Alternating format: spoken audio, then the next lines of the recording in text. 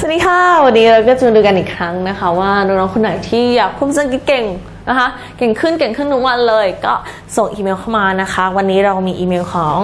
คนนี้เลยอะไรอะไรก็ชมแต่น้องคนนั้น ไม่ลำเอียงไปหน่อยหรออะ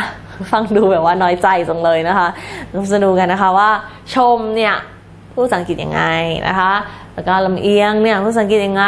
นะคะ แล้วการพูดเนี่ยต้องพูดยังไงบ้าง โอเค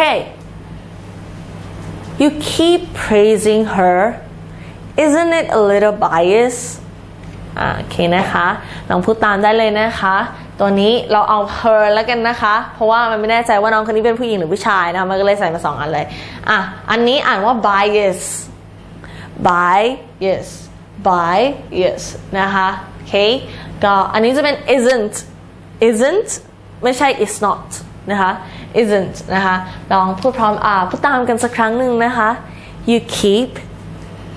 praising her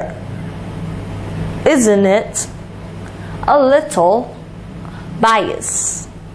นะคะก็ลองพูดตามอ่าพูดพร้อมกันเลยสักกันนะคะ สักครั้งหนึ่ง you keep praising her isn't it a little bias นะคะ ลว่าอะไรมันมีความหมายว่าอะไรบ้าง เราต้องพูดทำไมต้องพูดแบบนี้นะคะอะขอดูต้นฉบับก่อน อะไรอะไรก็ชมแต่น้องคนนั้น ชมแต่น้องคนนั้นนะคะ ก็คือ you keep praising her praising แปลว่าชมนะคะ praise แปลว่าชม แต่ว่าถ้ากำลังชมอยู่เนี่ยก็คือ praising ใช่ไหมคะ เพราะว่าต้องเป็น ing นะคะ keep praising เนี่ย ถ้าไม่ใส่ว่าคำว่า keep เข้าไปเนี่ย ไม่ใช่เก็บนะคะ keep เข้าใจว่าต้องไปเก็บอะไรอย่างงี้ใช่ไหมคะ แต่ว่าถ้า keep praising ก็คือทำอยู่นั่นแหละทำอยู่นั่นแหละทำทำทำอยู่นั่นแหละ ก็หมายความว่าชม ชม ชม ชม แต่น้องคนนี้นะคะ ส่วนภาษาไทยเนี่ยจะมีน้องมีพี่ถูกไหมคะ มีศัพท์ถูกไหมคะ มีศัพท์ของคนว่าออายุเนาะจากอายุภาษาอังกฤษไม่มีค่ะ สมมติว่า มายจะเดินไปมายเจอเพื่อนคนหนึ่งที่อายุประมาณ 20 อะ รุ่นพี่ใช่ไหม เป็นซีเนียร์ใช่ไหมคะ แต่มันจะไม่เรียกเขาว่าพี่ อะ สมมุติชื่อเขาชื่อว่าแจ็คใช่ไหมคะ มันก็จะไม่เรียกเขาว่าพี่แจ็ค อะ ถ้าเป็นภาษาอังกฤษใช่ไหมคะ seniority รู้แต่ไม่โชว์นะคะ เรารู้ว่าเขาเป็นซีเนียร์ของเราแน่นอน เขาโตกว่าเราต้องหลายปีนะคะ แต่ว่าเราเรียกเขาว่า hey Jack อย่างนี้เหมือนกันนะคะ อันนี้คือวัฒนธรรมของต่างประเทศนะคะ ของ western ของฝั่งตะวันออกนะคะโอเค ฝั่งตะวันตกฝั่งตะวันตกนะคะโอเค เราก็จะมาดูนะคะว่า you keep praising her isn't it a little bias bias นี่แปลว่าลำเอียงอย่างที่หลายคน guess มาแล้วนะคะ ก็คือลำเอียงนั่นเอง isn't it a little bias นะคะ มันไม่ลำเอียงไปหน่อยหรอนะคะ ก็จะเห็นได้ว่ามันจะมีตัวนี้